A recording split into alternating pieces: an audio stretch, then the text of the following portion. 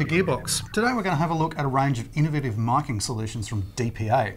Now, what I think DPA are going for here is they're trying to be the brand that you use in the studio and, And on live, the stage. yep. Yeah. So they're trying to adapt their range to be equally functional and useful in both. And of course, there's very different requirements in to the studio.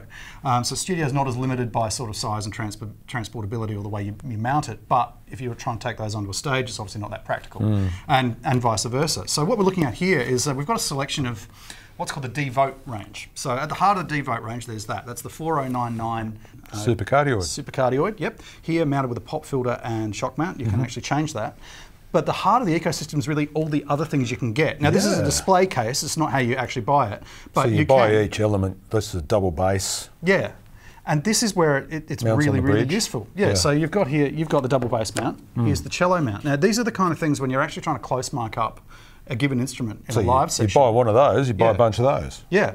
And that's the you know that's the thing that gets really hard sometimes is you know clipping on a little you know electric condenser or whatever Mm. Without the right tool. That's for a guitar, acoustic Oh, yeah. guitar. Makes sense. So there's a range of different clamps, and these are the kind of things that you know to get the mic in the right place, to get it free of noise handling.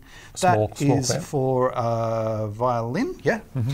And this this one over here that puzzled me for a little while. That's actually for sax or Oh trumpet. yeah, that makes sense. And then this is this is your uh, strap what- it to whatever. it's your yeah. what the heck. it's like I've never seen one of these things Yeah, before. yeah. Uh, this one, which uh, puzzled me for a little while, that's actually for putting onto a drum. Oh, so yeah. any kind of snare, tom, whatever. What about him? And that guy, that you can sit that on a bridge inside a piano. Ah, lovely. So um, yeah, a lot of the places you find DPA mics, obviously DPA with their heritage of doing a lot of jazz, Mm-hmm. their close relationship with the Danish Jazz Orchestra, um, and classical. I mean, it's where you, it's a high end, it's a high end sound, it's a high end mic. This Yeah. is not smashing things around with a 58. This is when you're going for flat, uh, beautiful, detailed sound, uh, you know, at a premium, which is fair enough.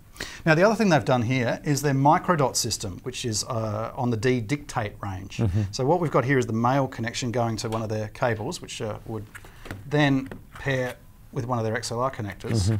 But what the deal is with this is you can actually then pick and choose. Yeah. Yeah. So they've got the whole dictate range. You've got a cardioid. I You've got a a- super there's cardioid. Eight or ten. There's of a there's a there's, There's a box lot. of them. Yeah. And um, they're dedicated for, for a lot of recording. You can get a, like a shotgun on it, Hmm. and then I've actually got it attached here to an optional shock mount. So Hmm. then you can then go and then mount it onto something and move it around. It could be on a mic stand. It could be on actually connected to the instrument. Again, into this environment. That's an ecosystem. It is. It's an actual, yeah, it's not just the mics. Hmm. They've got the mics. It's a whole ecosystem to actually make them practical, usable, and then get them where they're needed. I mean, especially on a stage, you're fighting feedback issues, you're fighting other musicians. Hmm. You need that sound to be where it's at its strongest. And uh, sometimes you need specialized tools to do it. So, yeah, they've thought past the microphone into how you actually use the things live.